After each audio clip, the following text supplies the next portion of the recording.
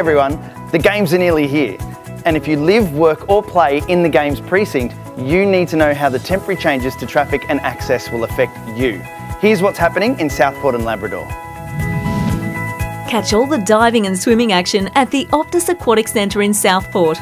Broadwater Parklands is a great place to see the start and finish of the triathlon and marathon events, plus the 5 kilometre community participation gold run.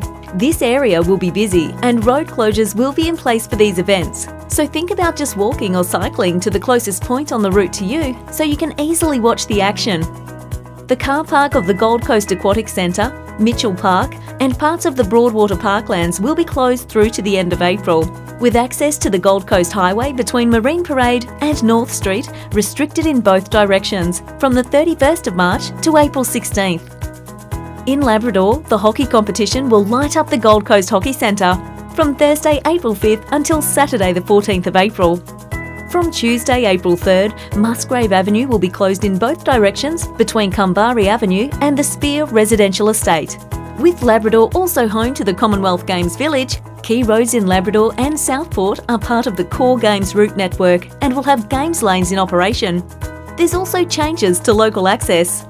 From March 17th, access to Gold Coast University Hospital, Gold Coast Private Hospital, and Griffith University will be via Olsen Avenue only, with Parklands Drive closed between Village Way and Smith Street.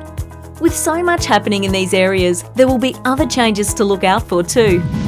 Download the Precinct map or the Games app and check to see when the venues are going to be at their busiest. Plan ahead because it's our time to shine. For more info, visit getsetforthegames.com.